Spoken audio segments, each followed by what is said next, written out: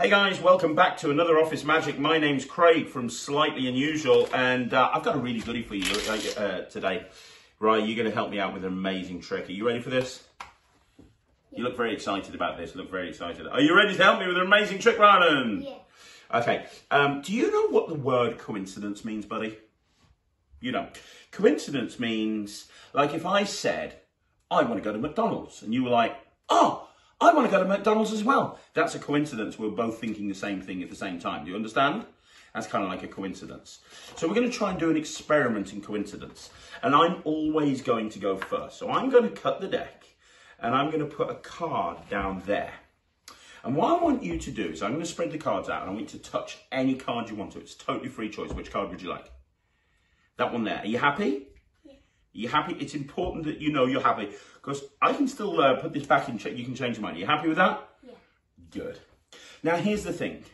I want you to remember that before you uh, before you put down before you touch the card, I put down a card. Is that fair? That's fair, isn't it? Now, Thea, would you like a go at this as well? Yeah. You would. Okay.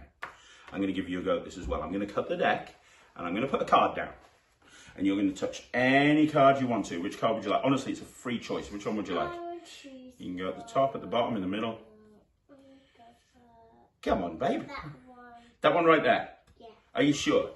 Now, again, it's important that you realise that you could have changed your mind if you wanted to. I don't want you, Sata, saying, I want, Are you happy with that? Yeah. You sure you're happy? Yeah. Okay, okay. We're going to do this one last time. Hmm. Who shall I do it on? Ryland. I'll do it on you, Ryland. Okay. I don't know. Are you being good? You sure? Okay. So, uh, we'll do it one last time. Let me cut the deck in just the right place. I'll give it three cuts. One, two, three. And I'll put that one there. Okay? And I want you to touch any card that you want. Which one would you like? That one right there. Are you sure you want that one? This is your last chance. You want to change your mind or are you happy? Happy. You're happy. Cool. Put the rest of the deck aside. So think about this for a minute. Every single time we did this, I put down a card, then you put down a card. The first card I put down was the four of clubs. You then touched a card and you touched the four of spades. The same black and four. You got the exact same card. You could have touched any card. You got the exact same card. But then Thea, I put down the eight of diamonds. And you could have touched any card. And you touched the eight of hearts.